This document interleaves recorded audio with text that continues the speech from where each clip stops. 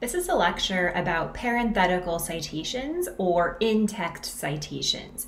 The most important thing to know about in-text citations is that you have to integrate the quote. You can think of that as a quote sandwich or um, an introduction to the quotation. So when you're integrating a quote, you have to have three components. You have to introduce the quote and uh, provide a little bit of context if necessary. Tell me or tell the reader who wrote it, where it comes from if necessary, uh, a little bit of information about the quote if it's required. Of course, you have to include the quote itself in quotation marks. That's very important. Then you have to include the parenthetical citation, what goes in parentheses, which we'll talk about in a minute. And then, most importantly, in terms of the quote sandwich, you have to unpack the quote. You have to analyze the quote. It's not enough to just sprinkle quotes or drop quotes throughout your entire essay. You have to introduce them and you have to analyze them, explain them, add to them, even critique them, and connect them to your overall thesis argument. So that's really important, unpacking and analyzing the quote. When you're introducing the quote, you can use a couple different strategies. You can introduce the quote with what's called a tag. That's something like John Smith writes, followed by a comma. So you include the writer's name. Now, if you don't want to include the writer's name, you can include the writer's uh, last name in your parenthetical citation. But if it's the first time you're referencing the writer or the critic or the scholar, it's good to include the first name and the last name when you introduce the quote. You also want to include a signal verb. Now, you can say something like writes, but it's best to use a really strong verb that's more specific than just says or writes. You could say something like asserts, claims, undermines, explains, describes, critiques, uh, right? Because just saying writes or says is sort of vague. And then after that, you would include the comma, right? So you would say, John Smith, a critic of X at Yale University, asserts, comma. Then you include the quotation, making sure that you're putting any words that are not your own in quotation marks. And then after that, you include the parenthetical citation. Now, depending upon what source you have, um, something different is going to go in the parenthetical citation. Much of the time, you're going to be quoting from a text, a physical book, or something that was once published in a physical book or journal. So, typically for print works, in parentheses, you include the author's last name, like Smith, and the page number, like 276. Don't put the word page or p period, just the last name and the number itself. Now, if you already have mentioned the writer's name when you introduce the quote, then you can just put the page number in parentheses. And your period goes outside the parentheses because it's the period of your sentence.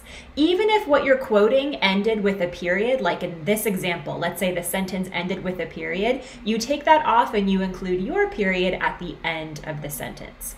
So let's look at this example. Michael Crichton argues, comma, quote, you or someone you love may die because of a gene patent that should never have been issued. End quote, parenthetical citation with the page number followed by the period. Now, obviously, it's weird for me to say quote and unquote out loud, uh, but you get the idea. So I have the author's name, Michael Crichton. I have a signal verb, argues, followed by a comma, the quotation. Most quotes will begin with a capital letter because it's the beginning of the sentence, followed by the page number in parentheses and the period outside the parentheses.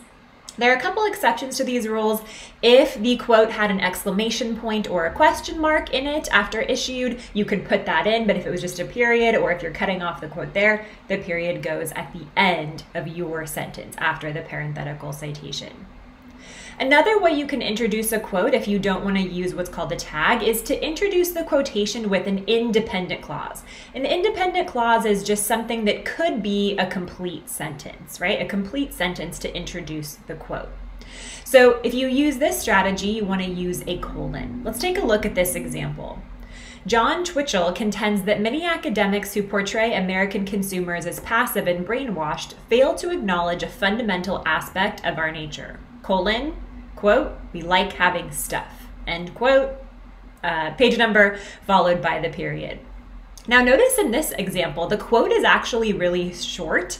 Uh, it's a really powerful quote, though, right? It's powerful in all its simplicity. We like having stuff uh, that's so simple that it's quite effective. But the lead up to the quote, the sentence that introduces the quote, doesn't just say John Twitchell contends, uh, which technically could be a complete sentence. It has what he is arguing, what he's saying in his essay. So you can um, do a little bit of analysis when you're introducing the quote and explain explain um, what he's arguing in um, the essay.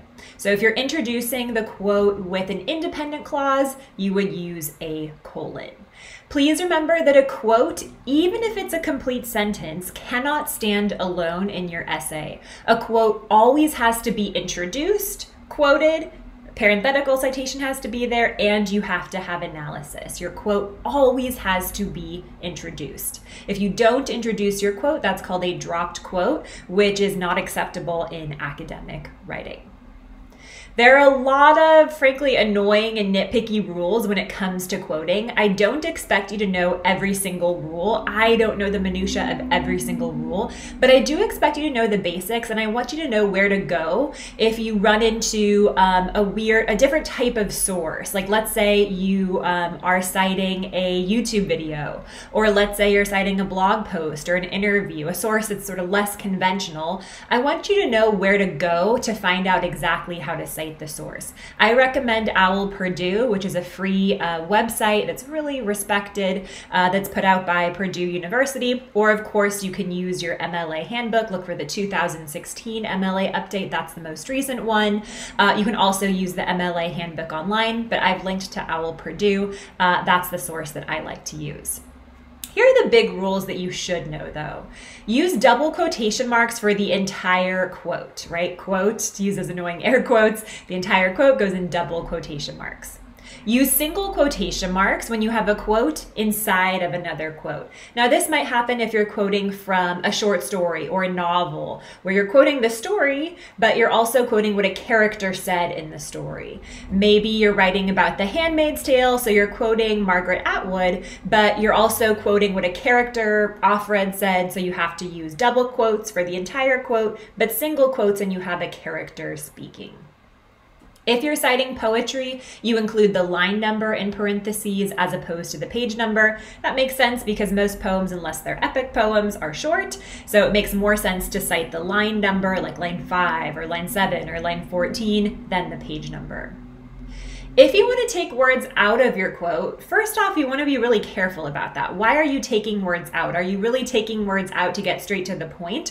Or are you manipulating the quote in some way, right? That would be unethical if you're a journalist, if you're a writer, that would be unethical to be manipulating the quote uh, to mislead people. So make sure if you're taking something out of the quote, it's really just to get straight to the point and you're not taking out anything that changes the meaning of the quote. If you do have to take out words, you have to signal that to the reader, right? Otherwise, if you take out words but you don't give the reader some sort of message that says that you've taken out words, uh, the person who said the quote or wrote the quote might get upset with you and probably would have a good reason to be upset with you. So you have to include dot, dot, dot if you've taken something out of your quote. Obviously, ellipses here, that means something different than if you're texting someone and you see that they're texting you back and you get the dot, dot, dot because they're still writing. Sometimes you have to add words to your quote. So let's say your quote has a pronoun in it, like he or she, and the reader of your essay wouldn't understand who the he or the she is referring to. You might have to add a word, right? If the quote says he, you might have to say Joseph or whatever it is, uh, so that the reader would understand what you're talking about. Or if there's a pronoun like it, the reader of your essay might think, well, what is it referring to? So if you need to add words, uh, use brackets. Use brackets sparingly. Uh, if you can, um, alter or change your sentence or quote something a little bit shorter or pick a different quote if you find yourself having to use tons of brackets. There's kind of an ugly and messy punctuation mark, so you want to use them sparingly. Do not quote more than four lines at a time. Now, that's actually a rule that's specific to my class Technically, you can quote more than four lines at a time in a longer essay. You use something called block format, but for this class, we're never going to be using block format, so don't even worry about it. Don't quote more than four lines of text at a time. Now, the reason for that is that if you quote more than four lines of text at one time, you're probably going to have just a big chunk of quotation without a whole lot of analysis. I don't want to see that you can just make a collage of quotes from other people. I want to see that you take a few well selected quotes and really unpack them and connect them to your argument. You're not just dropping quotes throughout your essay, you're using really timely, perfect, precise quotes, then you're doing the hard work of explaining the quote adding examples and connecting back to your thesis statement. Pick a compelling quote and a relevant quote. So I, I would think that this would be sort of obvious, but sometimes a student will say something like, okay, I've chosen a quote, but I have nothing to say about it. It speaks for itself. It's so obvious. It's not interesting. And that might be true, but that's probably a sign that you should pick a more interesting or controversial or problematic or beautiful uh, quote. Pick a quote that has stuff that you can unpack. If there's nothing to say about the quote, then you're probably not using that quote really effectively. You want to look for rich language, figurative language, look for metaphors or similes that you can unpack. You want to look for holes in arguments or logical fallacies that you can unpack. You want to look for a quote that gets to the main idea of the text and you can explain that main idea. Quotes that are complex, uh, pick interesting quotes, don't just pick the first quote that you see. Also, of course, make sure that your quote is relevant and fits within your body paragraph and fits within your overall argument.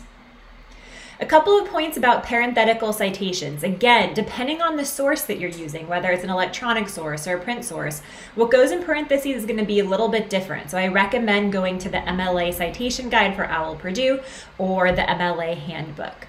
But for print sources, which are really common in this class, you're going to use the author's last name, the page number, and again, put your period on the outside of the parentheses.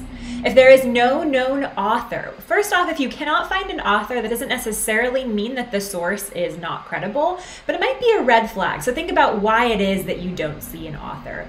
Was it written by a group of people, right? Maybe it was written by a group of doctors in the American Academy of Pediatrics, right? That's going to be legitimate, but something else that's um, online that has no author might or might not be legitimate. But if it doesn't have an author, but you still want to use the source, use the shorthand title. So the impact of global warming, maybe the actual title was something longer, maybe there was a colon in there, but for your parenthetical citation, you can use the shorthand followed by the page number. If there is no page number, don't use the page number. Don't include a paragraph, um, just use the author's last name the name of a shorthand version of the article. And if there is no last name, just use a shorthand version of the article. If there is no page number, don't use the page number. Um, for a website, include the author if there is one and the name of the article.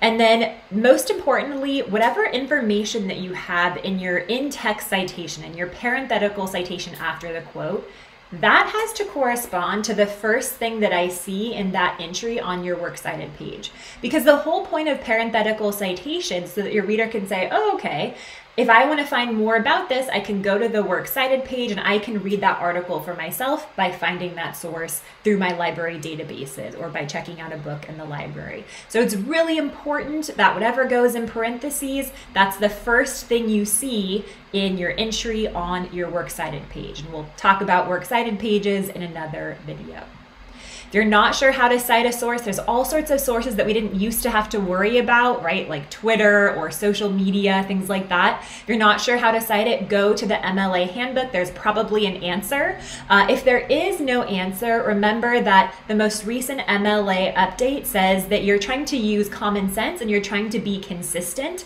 They also recommend that you use this idea of container. So start with the smallest container, the text itself, then the journal it was published in, right? And then move outward and do try to be consistent. Most of the time, though, even for really strange sources, um, you can find a, a guide for how to cite that source.